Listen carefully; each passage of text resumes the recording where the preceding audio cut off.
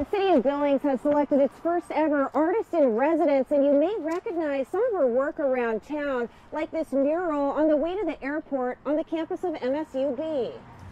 It's designed to bring awareness to an important topic, but it's also brightening up a dark space, turning this tunnel into a safer space, and that's the idea citywide. The MSUB mural is one that I got with the Big Sky Economic Development, and we put up one all about the uh, missing and murdered Indigenous people, and each one of those shards represents somebody who's been lost in that tragedy. We selected local artist Terry Porta She's done a lot of uh, public art around Billings, and we were very impressed with her public art. I'm super excited for the position. We want to go out to the neighborhood, we want to talk to people from our cultural centers around town, and we want to talk to donors, Terry's position is funded for one year by a $50,000 National Endowment for the Arts grant awarded to the City of Billings in partnership with the Billings Arts Association and the Healthy by Design Coalition, plus matching dollars. We're also looking for donors. This is going to be a really high visibility project, and it also helps bring national attention to Billings because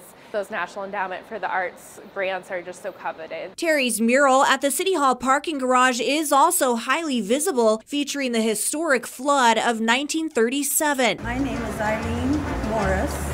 And I lived through this experience right here. She was only five years old, and her mom got her up, and the water was coming in the store, and they were trying to get the sandbags and get all the stuff out of the way. And so they plop her on a barrel and she goes to sleep. It took four months working eight to five to complete and thousands of community conversations. That's exactly what the city wants as Terry collaborates on at least two placemaking projects over the next year. I realized I had almost 3,000 interactions. Sidewalk poetry could be an idea. Healthy by Design has done a lot of work and they did some sidewalk poetry on the south side where they stamped sidewalks with poems created by residents. It's using art to help beautify the community community to help increase safety, to help increase ownership over the community. If you hear that I'm coming to your community group or some, somewhere in your task force, please come out and, and talk to me. I'd love to see and talk to all of you.